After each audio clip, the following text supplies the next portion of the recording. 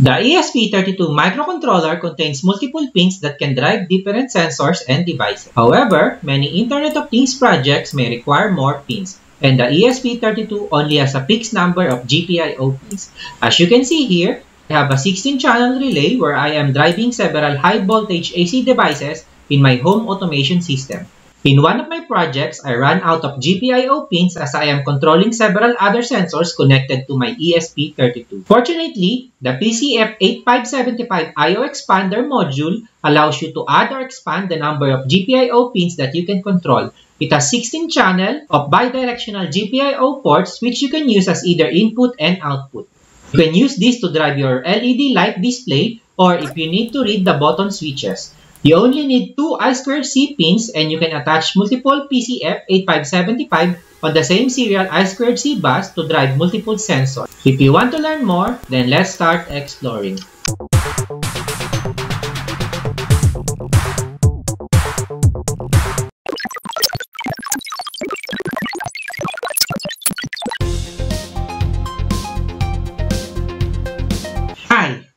Donsky Tech. In this video, I am going to be explaining how you can interface your ESP32 microcontroller with the PCF8575 I.O. port expander.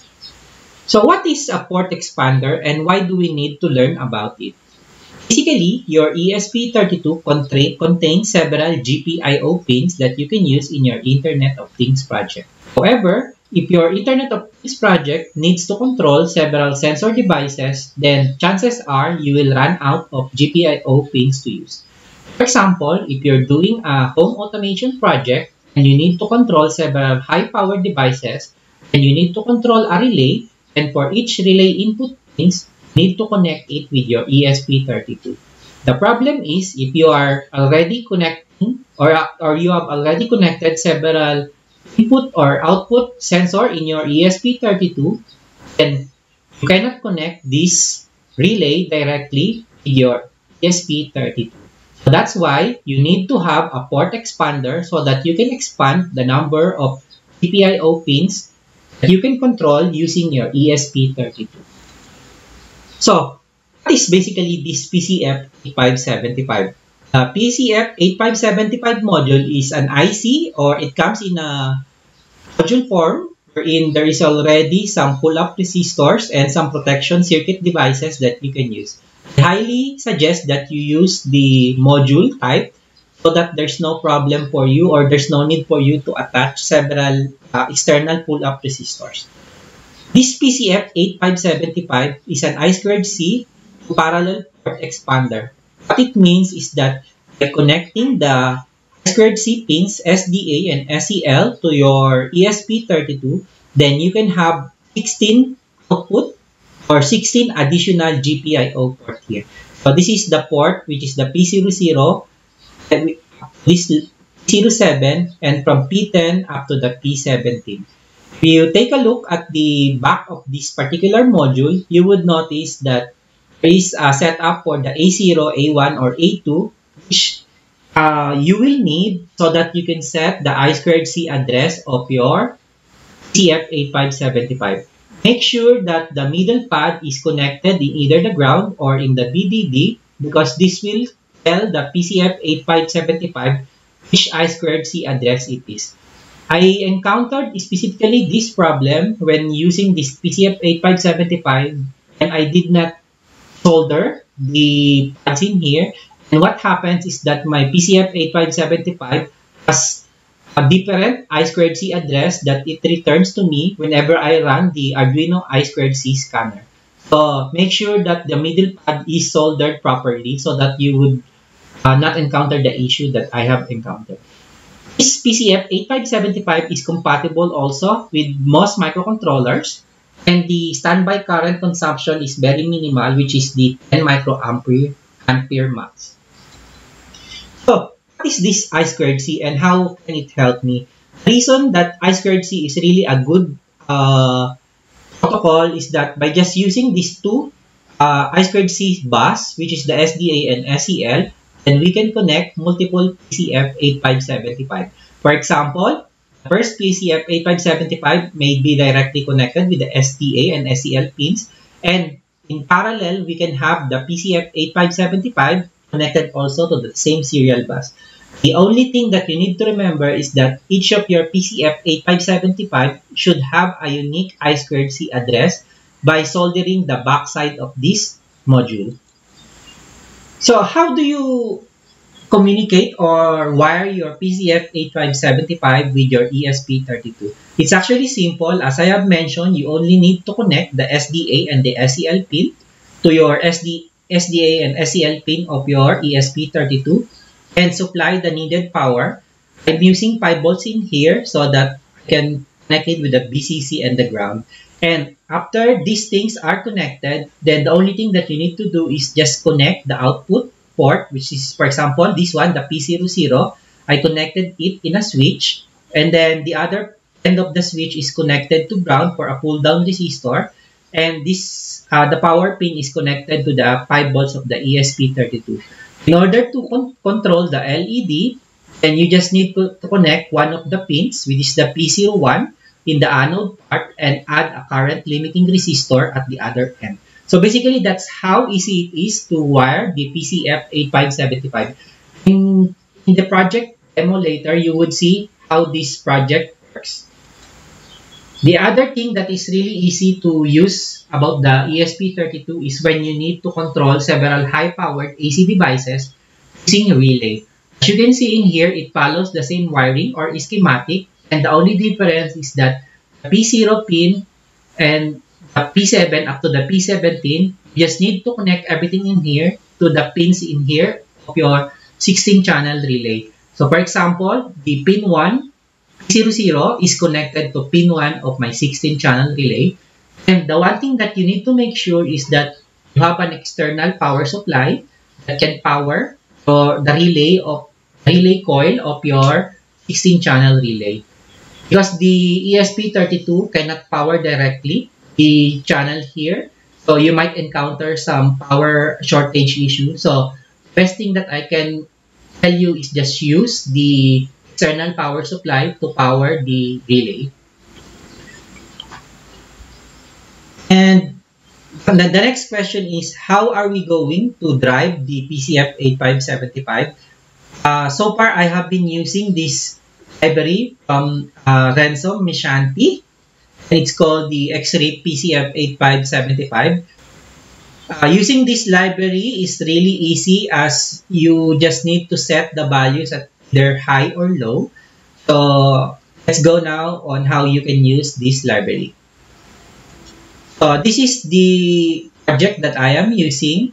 So the only thing that you need to do is to add this particular library in your platform that I am NIPy in my platform IO. So this is the library and the version is 1.1.0. Once you have added the library, then all you need to do is just import it. Then set the I2C address. After setting it up, and all you need to do is, is to call the pin mode, which is the P0 and pin 1. As you can see, it's actually easy. It's similar to how we set it up in a normal Arduino program. And you begin the transaction by communication by using this dot begin. Once the dot begin is created, then you can see in here, this is my switch project. So in the switch project, we just need to create a digital read. So in the digital read, all you need to do is to read the status or the value in the P0. Since the value is low or is in pull down, you, I'm using a pull down resistor. So if it's low, then we just turn off the LED and if it's high, then it would turn on the LED. So, in here, uh, you can even use the PCF8575 I.O. expander to read the values of the switch here. So, I have here a button switch and you can expand this project to use the keypad. If you have a keypad matrix of button switches, then you can use the PCF8575 for that purpose also. As you can see, if I just click this one, the button, then you would notice that the LED is turned on. And if I remove my hand, then it will turn off. So let's try again. The other thing is regarding the blink LED. And it's really simple. It's just the same pattern. So this is the blink LED pattern. You just need to set the output. Once the output is set, then you would notice that by running this loop function, then you would turn on or turn off the LED. So I have here my ESP32 and my PCF8575 I.O. expander including the LED and a button switch and as you can see the LED is being driven by the uh, PCF8575 I.O. expander. Now, we can go into something much more interesting about how you can control a 16-channel relay. So, this is the code on how you can control the 16-channel relay. And the only thing that you need to do in here is that you just need to follow this wiring and the schematic diagram. Once you have followed the wiring and the schematic diagram, it's almost similar to what we did earlier when we blinked the LED. So we just need to import the PCF8575 and the I2C address. And we need to set also, these are two variables. You wanted to control all of the relays in your 16 channel, I set it into 0 or 16. Once everything is okay, all you need to do is just set it to output. So I have a for loop here that will loop from 0 to 16. Then set the, the pin mode into output. Once it is in output mode, then you need to begin and I'll just turn off everything in here also since my relay is active low. So it, to turn it off, you need to set it to high. So same uh, function also in the loop function as you can see in here. We, you, we can turn on the relay by setting and low. So right now if we set digital write low and we can turn on the relay and then I have added several delays in here. And if you want to turn off relays again, then all you have to do is to set the value into high. So basically that is how easy it is to control your AC devices no matter how many numbers or how many AC devices you need to control by just using the same PCF8575 library. In this video, I'm going to show you how we can control our 16 channel relay with the ESP32 and the PCF8575 port expander.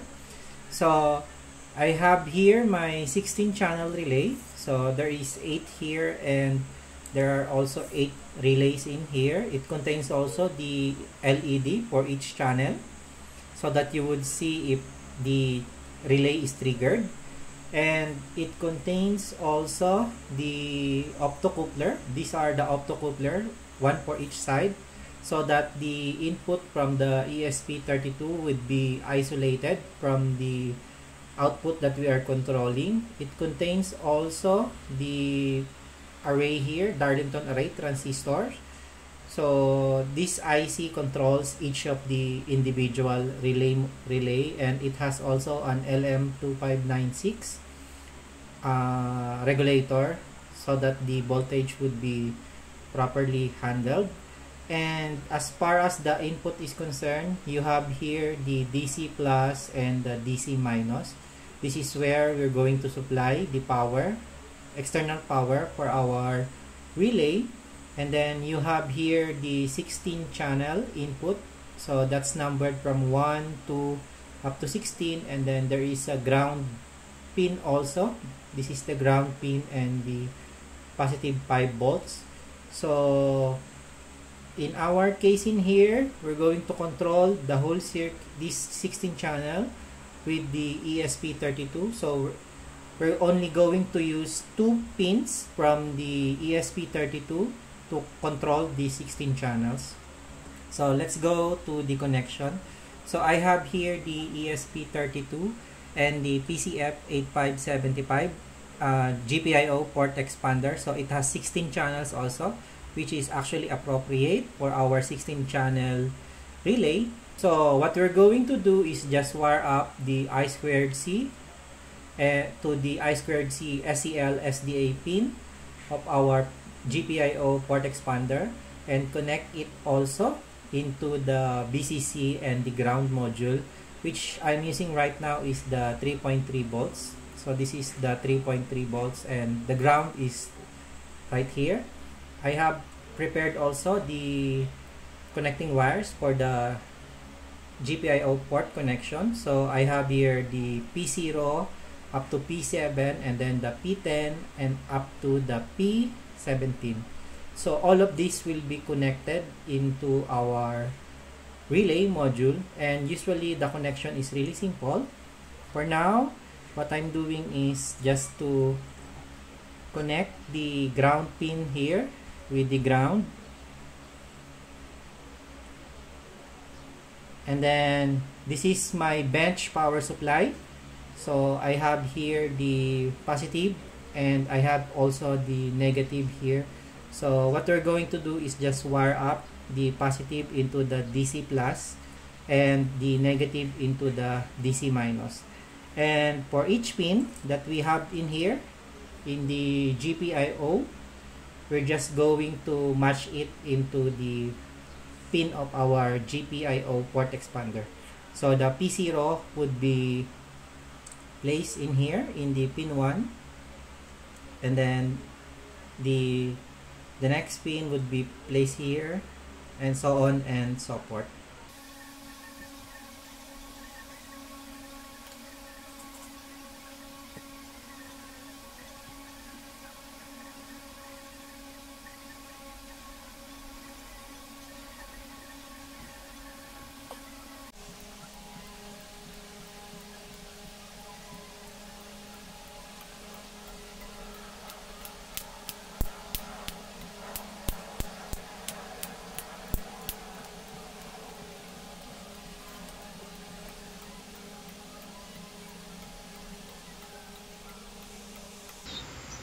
And that's it.